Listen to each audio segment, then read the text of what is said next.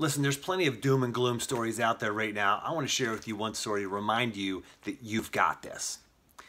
Imagine you're born in the 1950s to a poor African American family in Mississippi. Imagine you your parents get divorced shortly after you're born. You go on to live with your grandmother for a while. Then you move to a different state and you live with your mother for a while. Then you move to a totally different state and you live with your father for a while. And then you move back in with your grandmother.